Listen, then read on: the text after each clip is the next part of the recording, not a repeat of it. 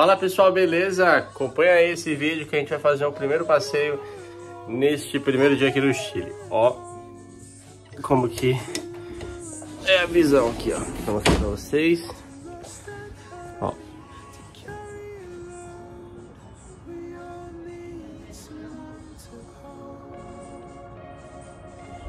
Quarto aqui uma bagunça.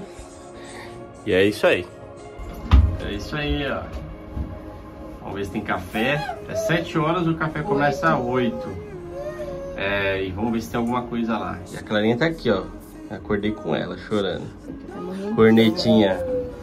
Tá frio. Essa viagem, ela tá, tá bem intensa. Eu tô estranhando tudo aí. Né, fia? need someone to stay here falling only cry out Will you fix me up? Will you show me how? The end of the day we're helpless Can you keep me close? Can you love me most?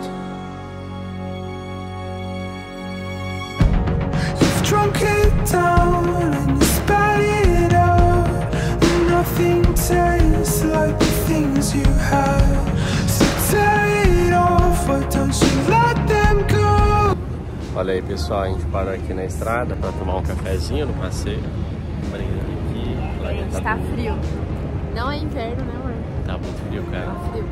Mas tá um negocinho ali legal. Vou mostrar pra vocês. Acho que eu vou... Oi? Meu, tá mó frio e eu... Tô aqui com essa... Só, só com essa blusa aqui, fina. Devia ter pegado mais coisa. Vou mostrar pra vocês aqui.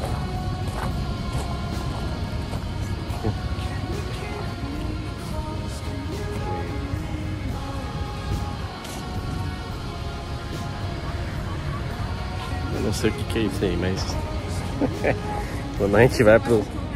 Tá aqui. Pros lugares a gente acha que tudo é. Uau! Então, ah, cara, as estradas aqui, uma coisa que eu parei, elas são muito boas. Boas mesmo, assim. Lisinhas e tal. O carro nem treme. E aí eu perguntei pro guia, né, por que, elas eram tão boas, e ele falou que é porque todas elas são privatizadas. É, agora a gente parou aqui na, numa vinícola e, no- na verdade num mercado, né?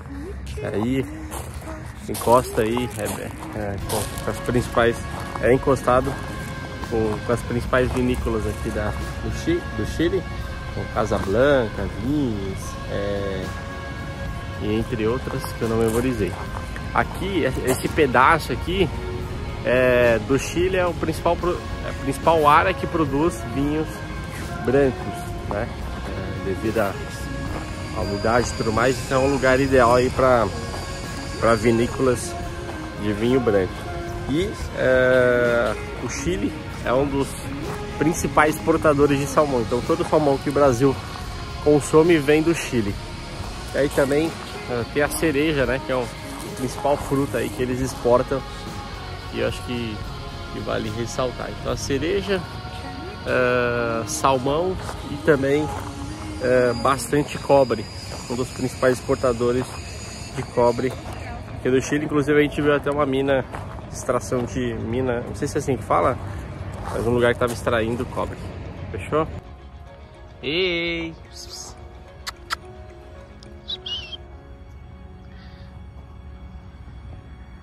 Tá um frio aí, pessoal. Poxa. Gelado. Tá sol assim, mas tá gelado.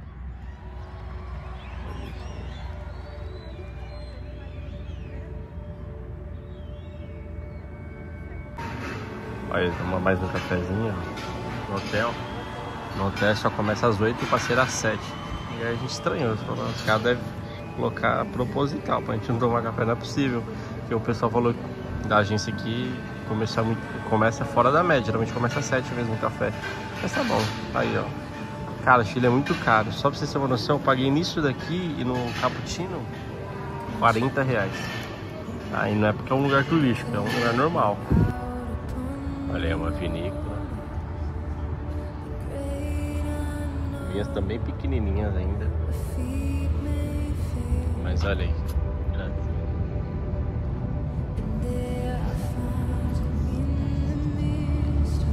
Legal, né?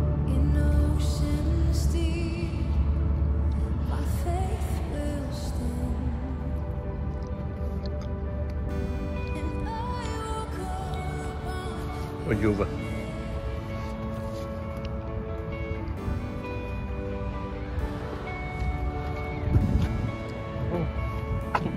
frente do sol. Melhor. Muito frio.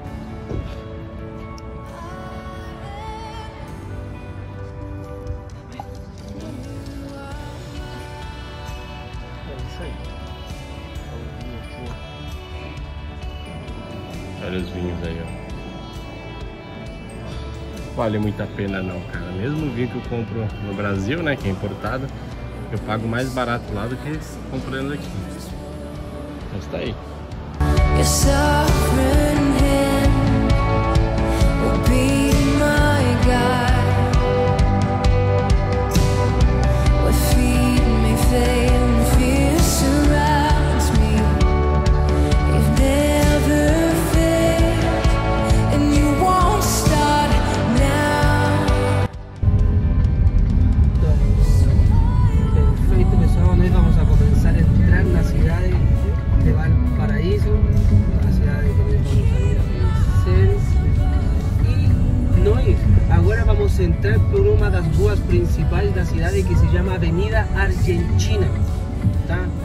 O da rua.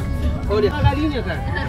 Tá? Então, se a gente vê, ele parece mais uma galinha que aquele pássaro que eu mostrei para vocês. Então, lá vocês estão conhecendo um presente da colônia francesa.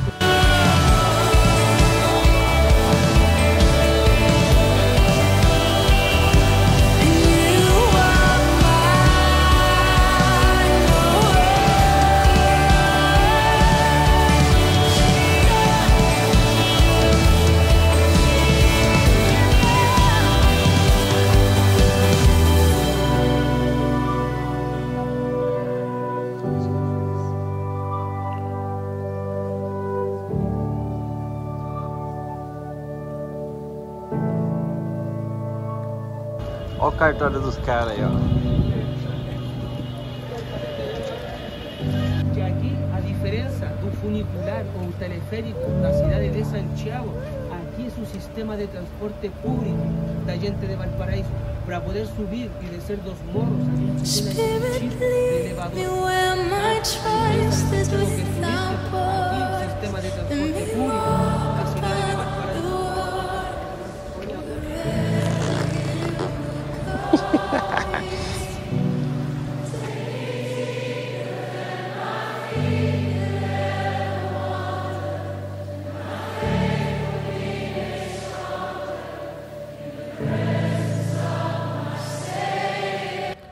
Essa é a cidade de Valparaíso.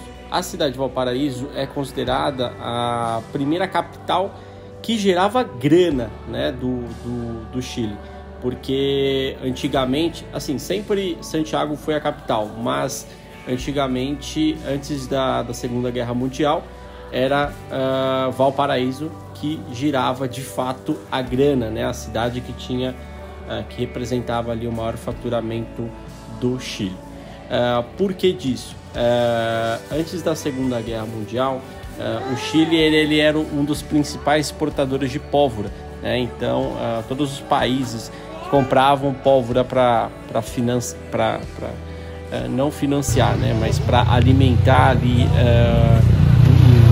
o, o seu exército, os militares, com, com, com bala e tudo mais, eles importavam pólvora do Chile e Valparaíso era, era, era o lugar né, que saía toda essa pólvora. Então, eh, os principais compradores era a Alemanha e a Inglaterra. Né? Então, eh, os alemães e os ingleses eram quem eh, que, que, comprava assim grande parte da pólvora ali de Valparaíso aí dentro do Chile.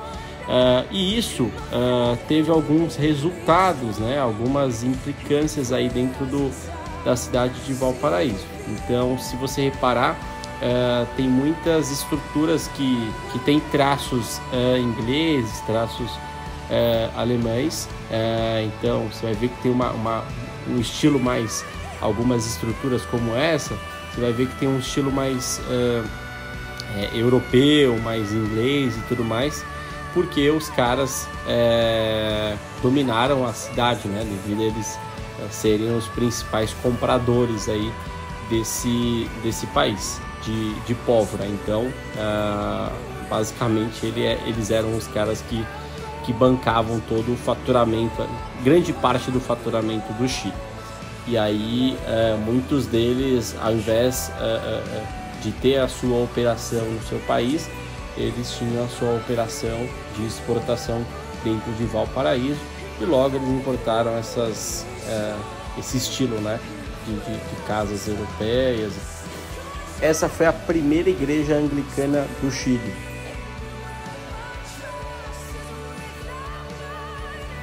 Já essa foi a primeira igreja luterana do Chile.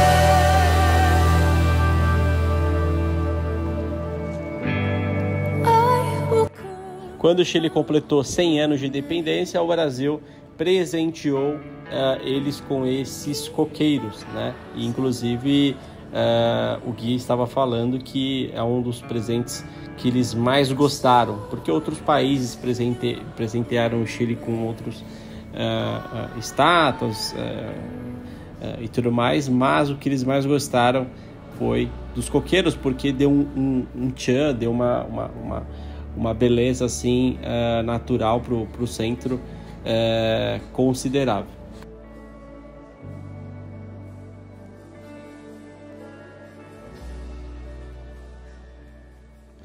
Esse foi um dos presentes que a Suíça deu quando o Chile completou 100 anos de independência. O relógio de flores.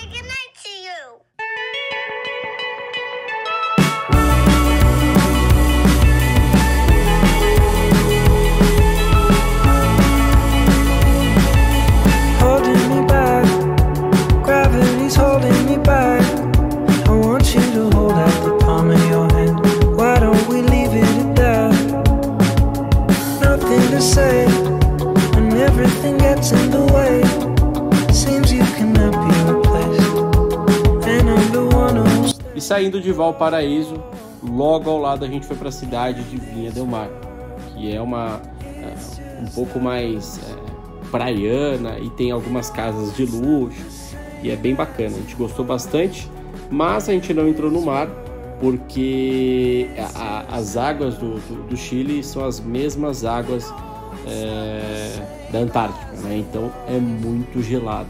né? Você vai ver que não tem ninguém banhando ali na, na, na praia, porque realmente é muito gelado, mesmo estando sol e tudo mais, mas é muito gelado. O Chile é um dos principais exportadores de salmão, né? Porque as águas geladas é, são é, muito favoráveis ali para o desenvolvimento de salmão e tudo mais. Tanto é que o peixe, um dos peixes mais baratos é o salmão. É, isso é super, super interessante. Uma coisa que eu reparei também é, é o cheiro. Eu senti um cheiro muito mais intenso de, de peixe nesse litoral do que o, de- o- o do litoral paulista. Isso é bem bacana também. A gente almoçou num restaurante bem interessante e essa era a visão do restaurante, muito legal também. Salmão, arroz mediterrâneo, ao visual.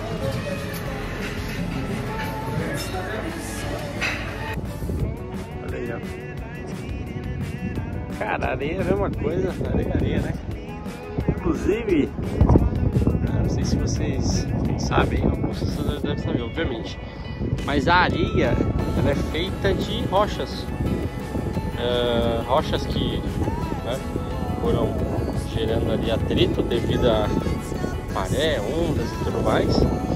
E aí elas foram partindo é, isso milhares de anos até virar é, o que é hoje, né? Então, você vai ver que tem bastante areia. Até que as praias novas, você vai ver que são mais é, é, é, pedrificadas. né? Não sei se esse é o termo correto, mas tem mais pedra, é é, é mais grosso, não tem areia, né? Tem- são várias pedras, então isso significa que são praias recém-formadas pela natureza. E já essas daqui são bem, praias bem, bem antigas. E aí um, uma, das provas que é bem antiga é, é justamente a areia. né? Bastante atrito, foi se triturando ali o, a rocha até que virou areia. Vamos tocar nesse oceano aí? Olha aí que legal, cara.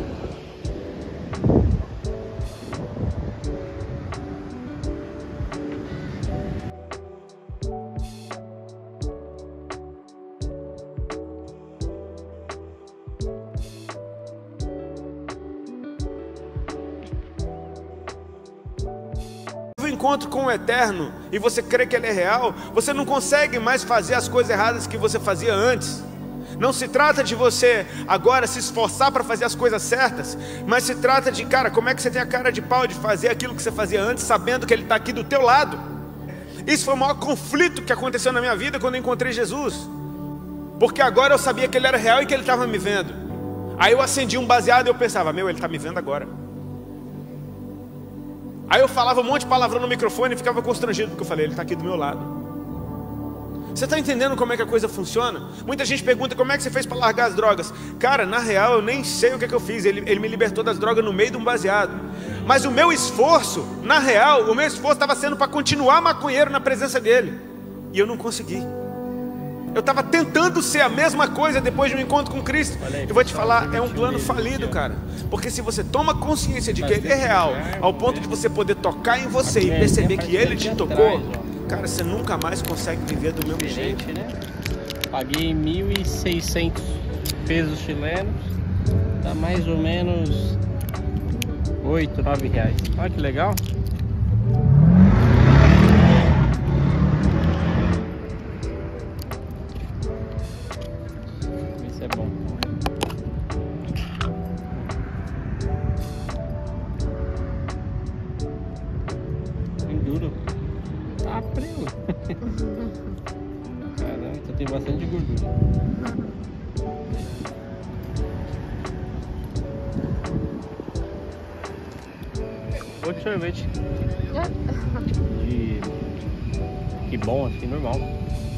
Isso aí.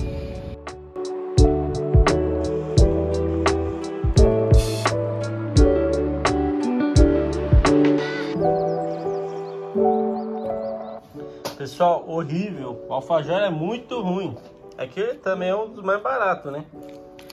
Mas ó, vamos ver a barra.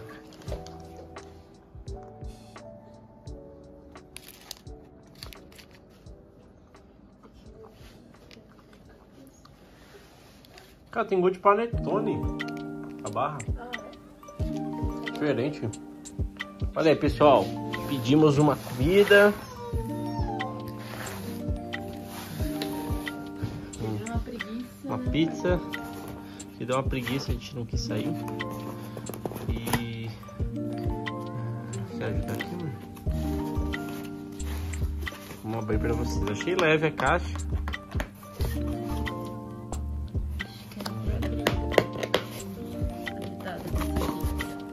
Eu passar um aqui. Assim. Nossa.